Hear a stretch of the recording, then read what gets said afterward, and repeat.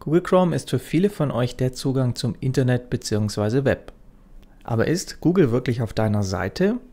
Da habe ich schlechte Neuigkeiten. Es gibt einige Gründe, die zeigen, warum du Google Chrome nicht benutzen solltest. Sechs davon schauen wir uns im Folgenden an. Warum geht es heute um Google Chrome? Ganz einfach, der Browser hat eine Monopolstellung. Er hat nur wenige Jahre gebraucht, um die zu erreichen. Hier sieht man mal die Browser-Statistiken ab 2009. Das sind hier bloß ein paar Jahre. Ab 2012 ungefähr hatte hier den IE damals ein verbreiteter, beziehungsweise davor sogar der verbreitetste Browser übertroffen. Schauen wir mal in aktuelle Zahlen, dann nutzen allein in Deutschland über 52 Prozent der Websurfer, die hier erfasst wurden, Googles Chrome-Browser. Weltweit sind die Zahlen noch viel höher, da sind es über 65%. Prozent. Als ersten Punkt schauen wir uns an, wie Google seine Nutzer mit fragwürdigen Dingen drängt bzw. den Leuten Dinge aufdrängt, die sie gar nicht haben möchten. Damit fällt Google schon seit Jahren auf. Eine Handvoll Beispiele der letzten Jahre zeige ich euch jetzt. 2018 führte Google mit Chrome 69 eine Zwangsverknüpfung von Webdiensten von Google selber und dem Browser ein. Wer sich bei einem Google-Dienst wie zum Beispiel Google, YouTube etc. angemeldet hatte, der wurde nicht nur automatisch bei sämtlichen Google-Webseiten angemeldet, sondern auch im Browser von Google. Leicht konnte man da aus Versehen seine Passwörter oder den Browserverlauf synchronisieren. Auch kritisiert wurde damals, dass beim Löschen von den Browserdaten die Google-Dienste ausgeschlossen waren. Nach der massiven Kritik ruderte Google nur ein kleines bisschen zurück und fügte eine Einstellung dafür ein, wo man das deaktivieren kann. Mindestens fragwürdig ist der 2017 eingebaute Malware-Scanner. Damals baute Google Chrome Cleanup in den Browser ein. Der hat unter Windows regelmäßig den Dokumente-Ordner vom Nutzer auf vermeintliche Schadsoftware überprüft, aber ohne eben die Anwender vorher zu fragen oder das auch transparent zu verkünden, dass sie das wissen. Noch dreister, das Ganze ließ sich nicht mal abschalten aus Sicherheitsgründen, wie es von Google heißt. Lange Zeit blieb Google auch dabei. Erst acht Jahre später entschieden sie sich, das Ganze auszubauen, nicht wegen der massiven Kritik, sondern weil das angeblich sein Ziel erreicht habe. Ziemlich fragwürdig, vor allem da diese ganze Antivirenbranche schon seit Jahrzehnten ziemlich unseriös ist das sagen nicht nur ich und mittlerweile viele andere aus der IT, sondern hier sogar ein Antivirenhersteller selber, das bereits im Jahr 2008. 2014 folgte ein weiterer großer Hersteller Symantec. Das Kernproblem ist, dass die Antivirenprogramme eine schlechte Erkennungsrate haben, aber zeitgleich auch extrem schlampig programmiert sind. Hier zum Beispiel hat man ständig irgendwelche Hintertüren, die ja auch extrem weitreichend sind, weil ein Antivirenscanner erstens auf alles zugreifen kann und unverdächtig ist, wenn der irgendwie mit Dateien hantiert.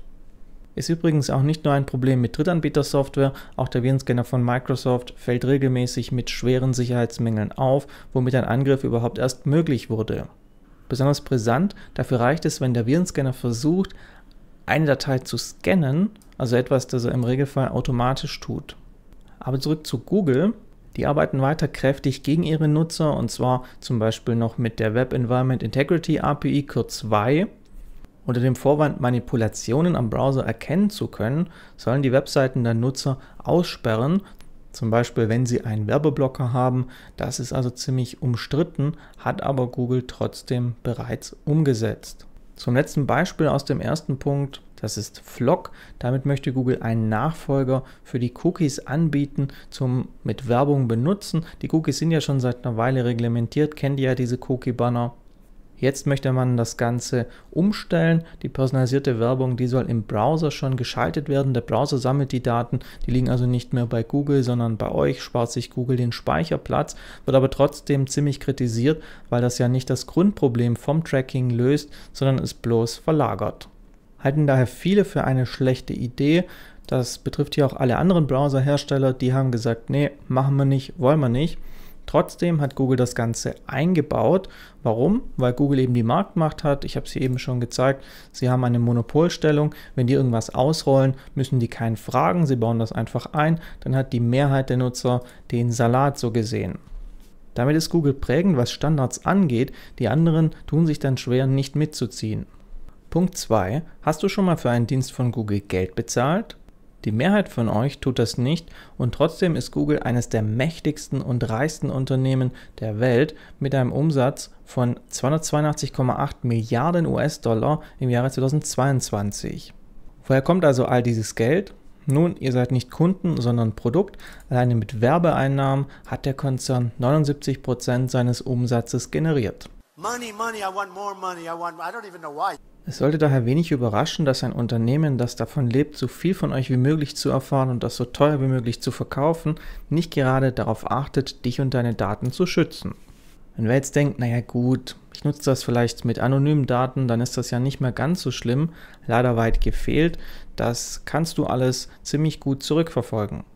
Plus die Daten werden halt nicht in Anführungsstrichen nur für Werbung benutzt, sondern eben auch für Überwachung durch zum Beispiel Regierungen.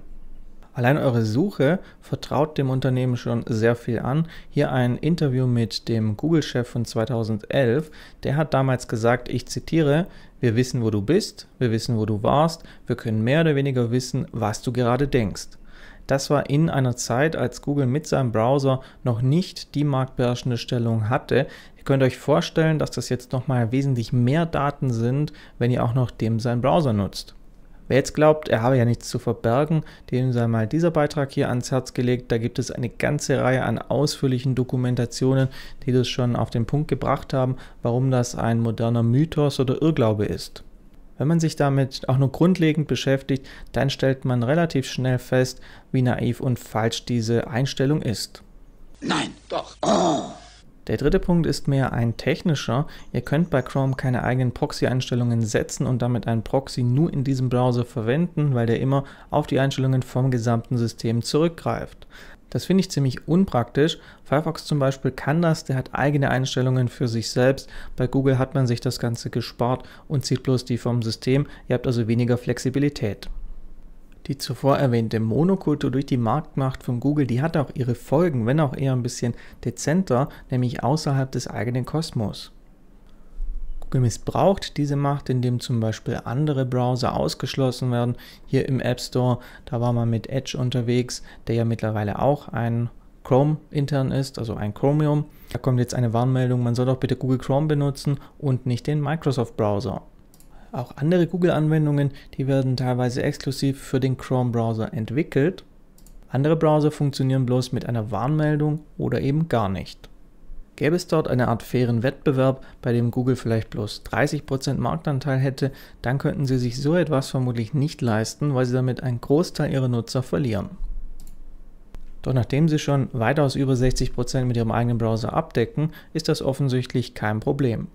Noch viel schlimmer ist, dass andere Unternehmen das sehen, was Google da macht und sich denken, das können wir doch auch. Wir entwickeln bloß noch für Chrome, testen das mit Chrome. Da gibt es ja auch verschiedene Beispiele, wo dann von denen offen gesagt wird, wir empfehlen Google Chrome. Bei allem anderen, da habt ihr dann einfach Pech gehabt, weil wir das nicht unterstützen, beziehungsweise halt nur wenn es durch Glück oder durch Zufall auch dort funktioniert. Diese Monokultur ist also im Zweifel nicht wirklich für den Nutzer gut, denn der wird dann hier genötigt, irgendwelche Software zu nutzen, die er vielleicht gar nicht nutzen möchte, vor allem in Zukunft vielleicht auch nicht, wenn die sich schlechter entwickelt. Punkt Nummer 5 ist die Sicherheit. Man muss nicht lange gucken, um zu schauen, wie viele Zero-Day-Schwachstellen in Chrome regelmäßig erkannt werden. Das Jahr 2024 zum Beispiel war nicht mal zwei Wochen alt, bis es schon die erste in Chrome gab. Auch das kein Einzelfall. Hier ist dann nicht nur Google Chrome, sondern meistens auch Microsoft Edge betroffen, weil der seit einiger Zeit auch auf Chromium basiert, die Engine, die auch Google Chrome verwendet. Auch die Sandbox hilft da nicht, weil das ganze System anscheinend ziemlich löchrig zu sein scheint, sodass man da ständig irgendwelche Zero-Day-Schwachstellen über Dritte mitbekommt, die auch aktiv ausgenutzt werden.